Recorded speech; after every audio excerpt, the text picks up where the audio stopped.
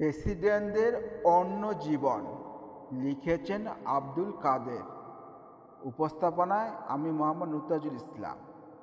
এবারের president Ronaldo Reagan. Ronaldo Reagan ছিলেন circus কর্মী। মার্কিন যুক্তরাষ্ট্রের চল্লিশতম প্রেসিডেন্ট রোনাল্ডো রিগান, যিনি আমেরিকার একজন বিখ্যাত রাজনীতিবিদ ও রাষ্ট্রনেতা। তিনি ছিলেন তুমুল জনপ্রিয় একজন অভিনেতা। একসময় জড়িয়ে পড়েন রাজনীতিতে।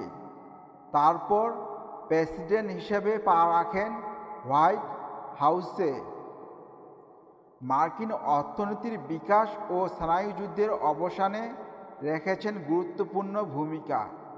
দ্য ইউকে তথ্যমতে, রিগান নবিশ হিসাবে ঘন্টায় শূন্য দশমিক পঁচিশ ডলার মজুরিতে রিংলিং ব্রাদার্স সার্কাসের একজন কর্মী হিসাবে কাজ করতেন। পরে তিনি ইলিনয়ের দূরবর্তী ডিকজন শহরে রক রিভার উপকূলে জীবন রক্ষাকারী কর্মী হিসাবে কাজ করেন। সেই দিনগুলোতে শীর্ণ আর লম্বা এই কিশোর বিপজ্জনক আর খরস্রোতা রক রিভার থেকে সাতাত্তর জন বিপদগ্রস্ত মানুষকে উদ্ধার করেছিলেন। সে সময় জীবন রক্ষাকারী হিসাবে অনেক জনপ্রিয় হয়ে উঠেছিলেন রোনাল্ডো রিগান। ঊনসত্তর বছর বয়সে রিগান যুক্তরাষ্ট্রের প্রেসিডেন্ট নির্বাচিত হন। উনিশশো এগারো সালের ফেব্রুয়ারি মাসে যুক্তরাষ্ট্রের এই প্রতিভাবান ব্যক্তি জন্মগ্রহণ করেন।